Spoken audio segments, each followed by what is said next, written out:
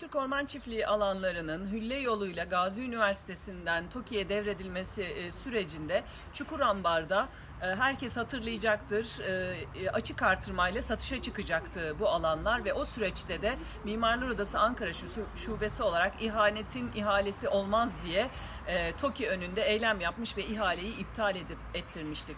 O süreç içerisinde açıklama yaptılar ilgililer ve oranın Atatürk Orman Çiftliği arazisi olmadığını söylemişlerdi ve bir plan değişikliği yapıldı. İhalenin iptal edildiği gün oranın tekrar konut ve ticarete açılması konusunda. E, bu konuda da yine Mimar Odası Ankara Şubesi olarak yargıya taşıdık ve yargı bugün son noktayı koydu. Atatürk Orman Çiftliği arazilerinde konut ve ticaret yapılamaz dedi.